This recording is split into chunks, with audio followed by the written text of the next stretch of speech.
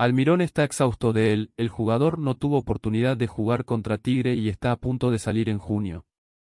Apasionados seguidores de Boca Juniors.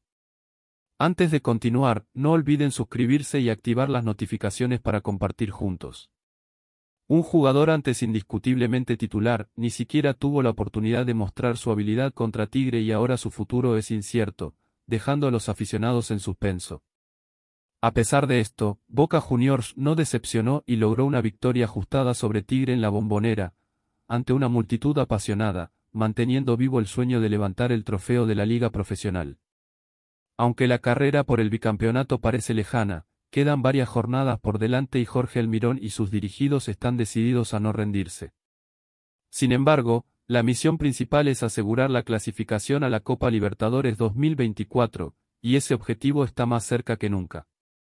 Aunque Almirón está satisfecho con el rendimiento del equipo contra Tigre, hay un jugador en particular que ha caído en desgracia ante el cuerpo técnico y su partida de boca parece cada vez más probable. Estamos hablando de Oscar Romero, quien ni siquiera ingresó al campo como sustituto en el segundo tiempo, a pesar de que Almirón optó por una alineación alternativa para enfrentar a Matador. Según el periodista Emiliano Radi, el DT espera que Romero sea más decisivo en el sector ofensivo.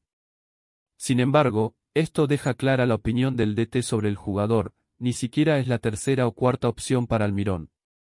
Con un clima cada vez más tenso en los bastidores de Boca Juniors, la salida inminente de Romero parece inevitable debido a la falta de confianza del cuerpo técnico.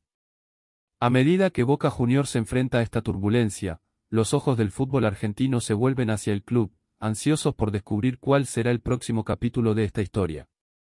Mientras tanto, los fanáticos permanecen en suspenso, esperando giros inesperados y el surgimiento de nuevos protagonistas que puedan llevar a Boca de regreso a la cima del panorama futbolístico. Dejen sus comentarios abajo y sigan apoyando a nuestro amado club.